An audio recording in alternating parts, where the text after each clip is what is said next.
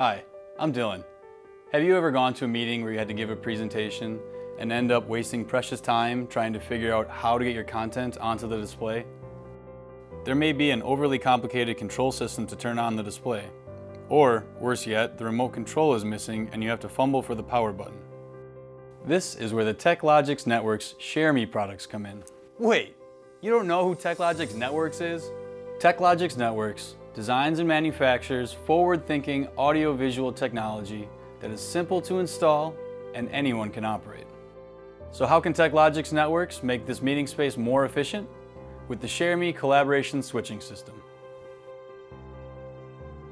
The ShareMe 3x1 switchers are available in two options.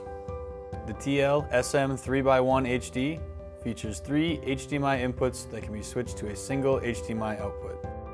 The TL SM 3x1 HDV features two HDMI inputs and a VGA with audio input going to a single HDMI output. The ShareMe 3x1 switchers can be set on a tabletop, mounted on a wall, or mounted under table with the included mounting ears. You may be thinking, well that's great, but how does this simplify my meeting space? TechLogix Networx has you covered with the ShareMe grommet inserts. These fit in standard grommet holes found on office furniture. The grommet inserts are available for HDMI, VGA, and DisplayPort sources. The grommet inserts are pass-through interfaces to connect to the ShareMe switchers. The included under-table bracket keeps the ShareMe grommet insert secure to the table. The magic and simplicity of the ShareMe grommet insert is the 3.5mm jack. The ShareMe cable passes video switching and display power commands from the grommet insert to the ShareMe 3x1. The ShareMe cables are available in lengths as short as 1 foot or as long as 10 feet. The TL SM 3x1 collaboration switchers include three 6 foot long ShareMe cables. So let's see the ShareMe collaboration system in action. Press and hold the display on-off button for 3 seconds to turn on the display.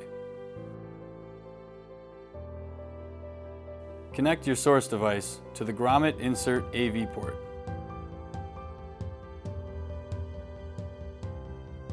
If your source device isn't showing up on the display, simply press the Share Me button. When you are finished with your meeting, press and hold the Display On-Off button for 3 seconds to turn off the display. So there you have it, the TechLogix Networx 3x1 collaboration switching system. All the products shown are available now as kits or a la carte. Visit tlnetworks.com for more information.